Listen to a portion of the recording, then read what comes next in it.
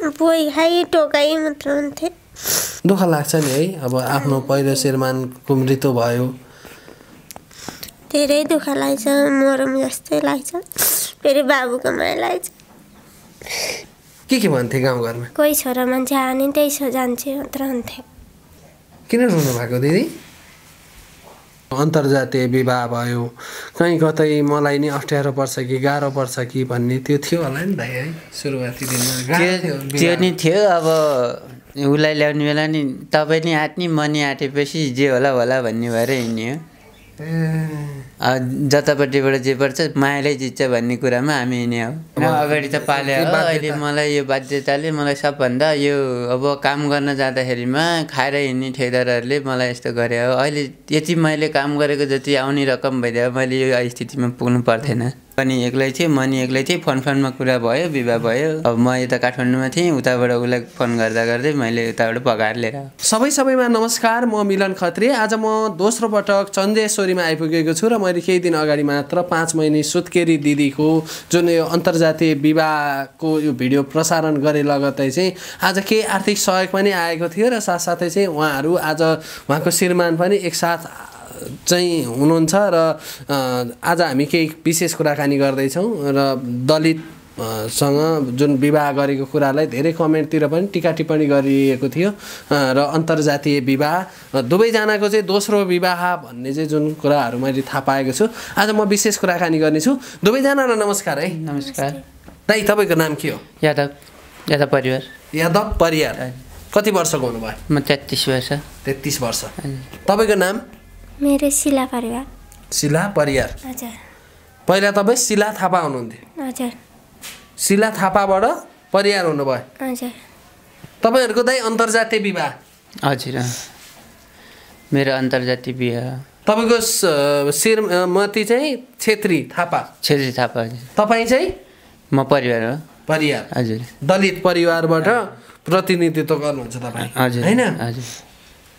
अनि के छ तपाईँहरू एकदमै गाह्रो अवस्थामा हुनुहुन्छ अरे हो? के भयो? हजुर अहिले अब यस्तो गाह्रो अब मैले जहाँ काममा गएँ अब पहिला सुरु नकटेसित काम गरेँ ठेकदारसित उसले पनि छब्बिस हजार मलाई दिएन भाग्यो। अनि पछि यो बाटोमै काम गरेँ त्यहाँ पनि भाग्यो दिएन। अहिले यो कोटेश्वर जडीबुटीमा काम गरेको डेढ महिना गरेको त्यो पनि दिएन। त्यसमा मैले काम गर्दा त्यसले नदिँदाखेरि म यो समस्यामा आइपुगेको ए भनेपछि निकै तपाईँलाई गाह्रो पऱ्यो। जता काम गर्नुभयो त्यता पैसा दिएन। हजुर। त्यही कारणले म यस्तो गर्नु तपाईँ ज्यामी काम गर्नुहुन्थ्यो? हजुर म ज्यामी नै गर्छु। त्यही तपाईँको नि दोस्रो विवाह। हजुर। कसरी चाहिँ तपाईँले दोस्रो विवाह गर्न पुग्नुभयो पहिलो श्रीमान के भयो? त्यो बताइदिनुहोस् त। विदेश जानुभएको थियो विदेशमै बित्नु भयो कुन देश जानुभएको थियो? मलेसिया। मलेसिया जानुभएको लीलाकान्त कणेल। भरतपुर बाह्र। दिशा गर्ने ठाउँ रातभरि कराउनु पर्ने कनाउँदा कनाउँदै त्यहाँबाट रगत पनि आउने। एफएममा सुन्दाखेरि वैदिक आयुर्वेदमा गएपछि मैले चाहिँ एक वर्ष लगभग दबाई निरन्तरसँग खाएँ र अहिले मलाई त्यो रोगबाट म निर्मूल भएको हुनाले मलाई ठुलो विश्वास आयुर्वेदमा छ। म साह्रै पीडित भएर म यो खुसीको आँसु हो। म कुनै दुःख मानेर रोएको होइन। त्यो संस्थाले मलाई चाहिँ निर्मूल बनाएको हुनाले संस्थालाई मैले धन्यवाद दिन चाहन्छु। सम्पर्क वैदिक आयुर्वेद सेवा प्रणाली लायन्स चोक आनन्द मार्ग चितवन मोबाइल अन्ठानब्बे पाँच पचास पचास नौ चौतिस किर्तिपुर ट्याङ्ला चोक काठमाडौँ मोबाइल अन्ठानब्बे पाँच बाह्र चालिस नौ चौतिस। कति वर्ष बस्नुभयो मलेसियामा तपाईँको श्रीमान तिन वर्ष। के भएर बित्नु भयो हार्ट एट्याकबाट हार्ट एट्याक भएर। हजुर। पहिला तपाईँ शिला थापा हुनुहुन्थ्यो थापाबाट तपाईँले दोस्रो विवाह गर्नुभयो। त्यसपछि परिवार हुनुभयो। दाइ तपाईँको पनि दोस्रो विवाह। मेरो नि दोस्रो विवाह। भनेपछि दुवैजनाको दोस्रो विवाह त्यस कारणले नि कुरो मिल्यो। हजुर। अब उहाँको नि श्रीमान नभए मेरो नि श्रीमती नभए। अब उहाँलाई नि अब त्यसै बोल अब ऊ पनि एक्लै थियो म नि एक्लै थिएँ। फोन फोनमा कुरा भयो विवाह भयो। अब म यता काठमाडौँमा थिएँ उताबाट उसलाई फोन गर्दा गर्दै मैले उताबाट भगाएर लिएर। तपाईँको दोस्रो विवाह चाहिँ कसरी भयो? मेरो? मेरो दोस्रो विवाह त अब पहिला अब बिहे गरेको पहिलाको मरिहाल्यो मरेपछि मैले यहाँबाट मेरो दिदी हुनुहुन्छ त्यहाँ। पहिलाको श्रीमती तपाईँको नि बित्यो? के भएर बितेको? त्यो रोग भएर। कस्तो रोग? के होइन त्यो के अरे पथरीको के हुन्थ्यो भन्थे त्यसबाट बित्या हो। छोरी छ त। छोरी छ नि मेरो नि। ए तपाईँको पनि छोरी हुनुहुन्छ एउटा? तपाईँको पनि एउटा छोरी? तपाईँको छोरी चाहिँ कहाँ हुनुहुन्छ? घरमै गाउँमै। गाउँमै गोर्खामा? माइती कि घरमै? घरमै। घरमै हुनुहुन्छ है? अनि तपाईँको छोरी चाहिँ कहाँ मेरो गोर्खामै छ। गोर्खामै हुनुहुन्छ? ए भनेपछि दुवैजनाको शिरमा श्रीमती र श्रीमान बित्यो त्यस कारणले अब तपाईँहरू दुवैजना एक्लो जीवन त चल्दैन भन्ने हिसाबले विवाह। हजुर त्यही त्यस्तै विचार गरियो। अब जसरी नै अब एक्लै जीवन त कहिले पनि बित्दैन। जताबाट नि मिल्ने कुरा मिलाएर अब गरौँ भनेर सल्लाह भयो बिहा भयो। अब बालबच्चा नि भयो अहिले अब छोरा नि भयो अहिले दुःख गर्दा गर्दै खुसी हालीसित पालौँला गरौँला भनेको अब ठेदारहरूले दुःख दियो। अब गर्दा गर्दै पनि गरेको काम गरेको परिश्रम आफूलाई फल मिलेन क्या आफूले जति गर्नु सक्यो गर्न त दल्नु छ दलियो त्यसपछिबाट आफूलाई रकम मिलेन। दिदी अहिले त अब यो पाँच महिने सुत्केरीको अवस्थामा धेरै दुःख पाउनुभयो खाना पाउनु भएन पहिलाको छोरीको चाहिँ जुन तपाईँलाई पाप लाग्यो हो त्यस्तो छोरीलाई किन छोडेर आएको भन्ने जुन कुराहरू आउँछन् क्या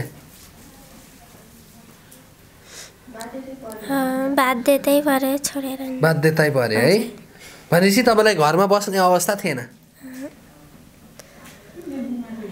विभिन्न थरी अब भन्थे। के के भन्थे गाउँघरमा? कोही छोरा मान्छे आयो भने त्यही सो जान्छु मात्र हुन्थ्यो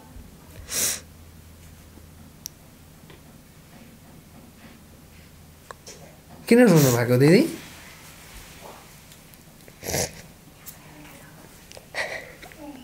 किन दाइ के भयो त्यस्तै भन्थ्यो कुरा गर्नुहुन्थ्यो होला नि है उहाँले। खै केही पनि भन्थेन अहिलेसम्म त किन र? उहाँले त अब निकै भोग्नु पऱ्यो होला नि त एक्लो एकल महिला भइसकेपछि गाउँ समाजले हेर्ने दृष्टिकोण त फरक हुन्छ नि। त्यो त फरकै हुन्छ अब तपाईँको अब अब उनीहरू अब छेत्री भए होइन अब दलितसँग आए अनि त्यसपछि पनि उसलाई उसको माइतबाट गयो नि त। ससुराली जान मन छ दाइ? जान त मन छ नि अब जानु भनेर पनि पाइएन अहिले बिस्तारै बिस्तारै। पाएन है। अब उसलाई पनि जानु पाउँदैन मैले पनि जानु पाउँदिनँ के गर्नु। उसलाई नि होला न छोरी दाइ अब तपाईँलाई एकदमै पीडा हुन्छ होला नि। पहिलो श्रीमती नि अब यसरी बितिन्। दोस्रो विवाह गरेँ। दोस्रो विवाह गर्दा पनि मैले श्रीमतीलाई खुसी राख्न सकिनँ भने रुनुहुन्छ। त्यो त अब टेन्सन त भइहाल्छ। नि अब के गर्नु अब रोएर नि के हुने होइन। अब आफ्नै मनमा राखेर बस्नु। अब मलाई नि अब खुसी त छ नि। सबैभन्दा आनन्द खुसी राखौँ भनेर के गर्ने जहाँ दुःख गऱ्यो त्यहीँ फेल खाइरहेछ अब ठेदारहरू भागे भागै छ। आए कोठा आयो रित्तै आउनुपर्छ। अनि दिदी तपाईँलाई त्यहाँ गाउँ समाजमा चाहिँ कोटेश्वरमा जाँदा झन् उहाँदेखिको हिँड्दै हिँड्दै आएको गाडी भाडा नभएर पनि हिँड्दै हिँड्दै आइपुग्यो। ठेदार नभएर भाग्यो धेरै दुःख पाउनु। पाइयो के गर्ने यस्तै हो। अब बसियो अहिलेसम्म अब त गरौँला नि बिस्तारै भन्ने सोचाइमा अब चल्नु पर्ला नि त। है? तपाईँलाई चाहिँ गाउँ समाजमा दिदी त्यस्तो बस्नै नमिल्ने बाध्यता नराम्रो भन्ने है? पोइ खाइ टोकाइ मात्र गाउँमा है? हजुर। गाउँघरमा बस्न नसकिसकेपछि तपाईँ बाध्य भएर निस्किनु भएको हो? है तपाईँ आफै ऊ त होइन नि यत्तिकै आउनु भएको त। गाह्रो नभइकन। धेरै गाह्रो भएर। अनि तपाईँले दोस्रो विवाह गर्नुभयो दोस्रो श्रीमानबाट पनि भने जसरी अब भनौँ न उहाँले पनि राम्रोसँग हेर्न सक्नु भएन चाहँदा चाहँदै पनि। दुःख लाग्छ नि है अब आफ्नो पहिलो श्रीमानको मृत्यु भयो। धेरै दुःख लाग्छ मरम जस्तै लाग्छ फेरि बाबुको माया लाग्छ।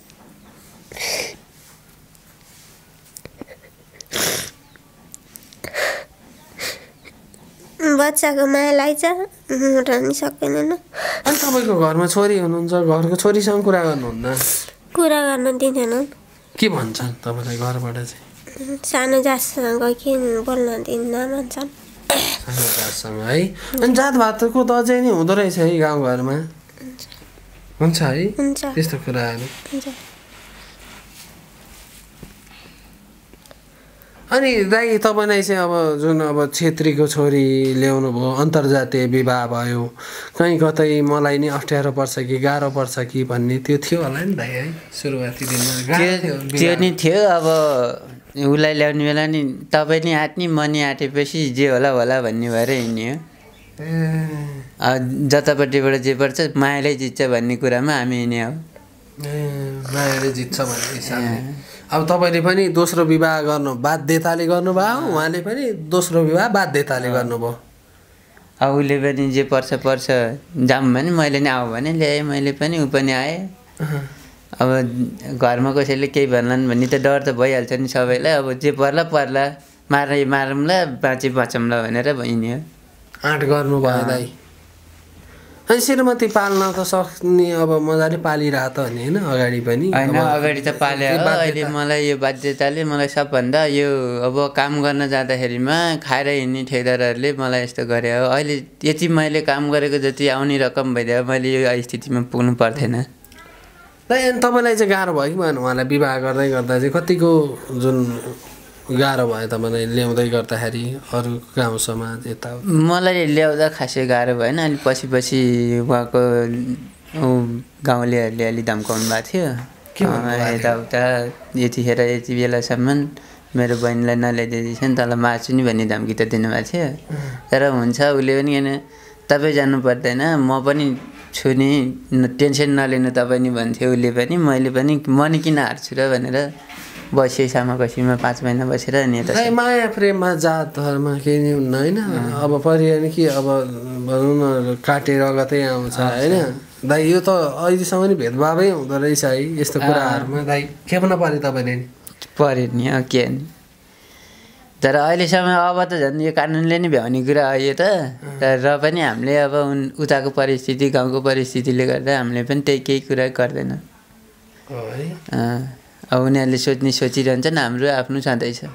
दिदी अनि श्रीमानले के छ? माया गर्नुहुन्छ तपाईँलाई? साथ सपोर्ट गर्नुहुन्छ है? हजुर गर्नुहुन्छ। गर्नुहुन्छ। तपाईँलाई केही पछुतो त छैन नि होइन? भागेर आएँ यस्तो गरेँ मान्छे छैन त्यो त त्यही कोठा भाडा तिर्न पैसा भएन नि त अनि तपाईँ सुत्केरी भइसकेपछि सबै पसलतिरबाट उधारो खानुभयो? हजुर। के के ल्याउनु भएको थियो? चामल ल्याएको थियो तिर्यो। मासु ल्याएको चाहिँ तिरेकै छैन। आ- आज अब हामीले सबै खाद्य सामग्री सबै ल्याइदिएछौँ नि दाइ। यतिले त केही अबसम्म चल्छ नि होइन? हजुर केही हाल सालै चल्छ। खुसी हुनुहुन्छ नि होइन? यो खुसी नै पनि? अब यति नभएको त ठिकै थियो। अब झन् आएकोमा धेरै खुसी छ भने जस्तो अब त्यही भाडा तिर्ने हो। अब कमाएर भाडा तिरौँला अलिअलि पसलमा अब कतै कहीँ कतै होला। त्यो तिर्न सकिहाल्नुहुन्छ। दुई तिन महिनालाई खान पुगिहाल्छ। हजुर पुग्छ। होइन दाइ? हजुर। जे भयो भने अब चित्त बुझाउने बाटो केही त राहत त भयो नि? भयो। अनि त्यो मासु खानको लागि अब पैसा दिएको छ। त्यो मासु खानुहुन्छ बेलुका? हुन्छ खाइन्छ। अब खुसीले दिनुभएको चिज अब खानु त पऱ्यो। है। खानुहुन्छ नि होइन? खुसी साथ। अब त बच्चालाई पनि केही खुवाउन पाउनु भयो। हजुर खुवाउँछ। पहिला अवस्था कस्तो थियो दाइ? यो सहयोग आउनुभन्दा अगाडि के थियो? बच्चालाई के खुवाइराख्नु भएको थियो? दुधै आउँदैन पहिला। अब बच्चालाई अब यो माथि अब हामीलाई त अब के थाहा नै हुन्थ्यो र दिदीले दुध तताउनु हुन्थ्यो दुध ल्याएर अलिअलि खानिदिनुहुन्थ्यो अनि उसकै दुध खाइरह्यो अहिलेसम्म। अरू त बच्चाले केही नै खाएको थिएन। लिटोहरू सेलेक्सहरू केही खाँदैन। केही खुवाएको थिएन। हिजो दिदीले। उता दिदीले ल्याइदिनु भयो धादिङको दिदीले। पैसा दिनुभयो अनि पैसा किनेर दिनुभयो अनि किनेर ल्याएर खुवाउनु भनेर हिजो ल्यायो अलिअलि सामान। सामान छ। हजुर हिजो दिनुभएको थियो अनि स्याडलिस ल्यायो एउटा। बिहान हल्का लिटो खायो। दाइ सोच्नु भएको थियो यसरी हामीले ल्याउँला सहयोग गर्नु होला यसरी राम्रो होला भन्ने होइन यस्तो भ्युज गए अनुसार त एकतिर न एकतिरबाट त थोरै धेरै थोरै त आशा छ भन्ने थियो। अब धेरै नै नहोला त थोरै थोरै त आउला त भन्ने आशामा त थियौँ नि। हो है भनेपछि जे भयो नि धेरै थोरै सहयोग आयो यसमा खुसी त मान्नुहुन्छ नि होइन? खुसी हुनुहुन्छ है?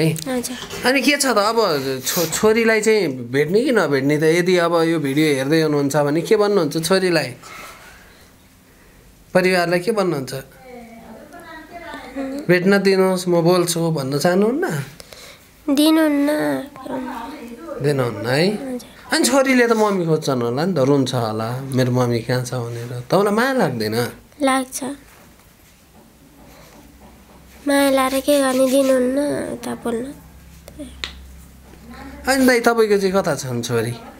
मेरो गोर्खामै छ हजुर। तपाईँले त भेट्नुहुन्छ। मेरो त यहीँ आइज भने नि आउँछ। नि कति वर्षको मेरो नि एघार वर्ष बेसी। एघार वर्षको।